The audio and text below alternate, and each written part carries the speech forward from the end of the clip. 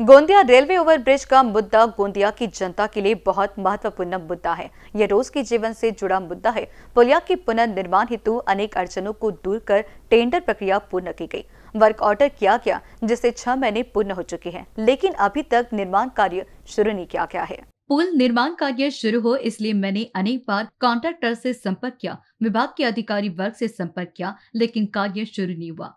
मुझे थोड़ा संदेह है कि जानबूझकर पुल निर्माण कार्य को किसी अदृश्य शक्ति ने रोक रखा है। मैंने विभाग एवं कॉन्ट्रैक्टर को निर्माण स्तर पर बुलाया और संबंधित विभाग, कॉन्ट्रैक्टर, प्रशासन एवं सरकार को इशारा दिया कि आठ दिन के भीतर अगर कार्य शुरू नहीं हुआ तो तंबू गाड़कर उपोषण करने जनता का आमदार विनोद अग्रवाल बैठेगा।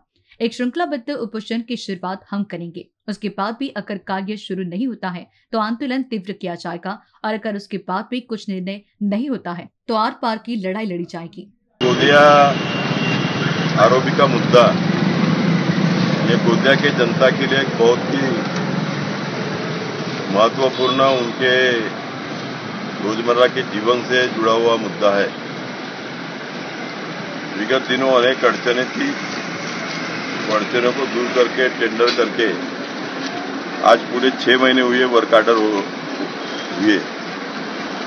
वर्क आर्डर होने के बाद भी छह महीने से संबंधित कंत्राटदार ने यहाँ पर काम शुरू नहीं किया बार बार मैंने कॉन्ट्रैक्टर से भी संपर्क किया, संबंधित विभाग के अधिकारी से संपर्क किया। आखिरकार आज उनको यहाँ पर जगह पर भी बुलाया।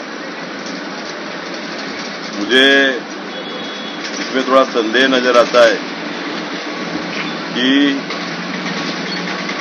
किसी अदृश्य शक्ति के कारण जानबूझ करके काम को विलंब किया जा रहा है।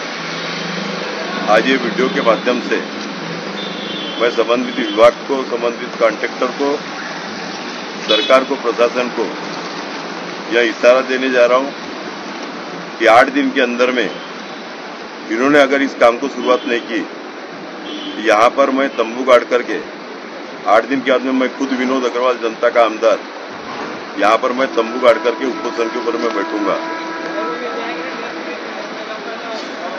यह हम श्रृंखलाबद्ध उपोषण की शुरुआत करेंगे और उसके आठ दिन के बाद में और काम नहीं हुआ ये उपोषण को और तीव्र किया जाएगा।